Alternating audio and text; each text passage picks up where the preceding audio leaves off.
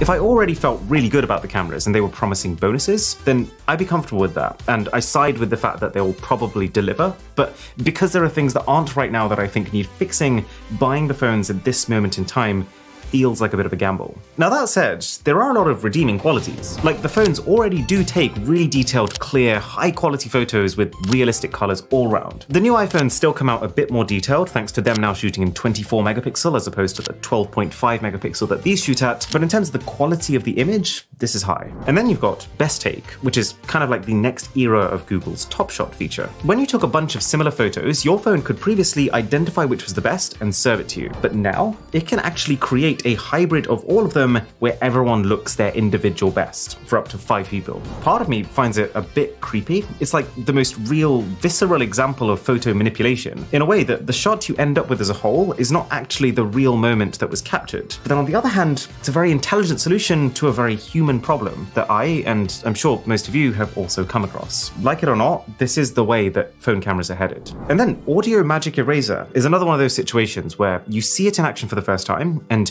you feel like you've just witnessed magic.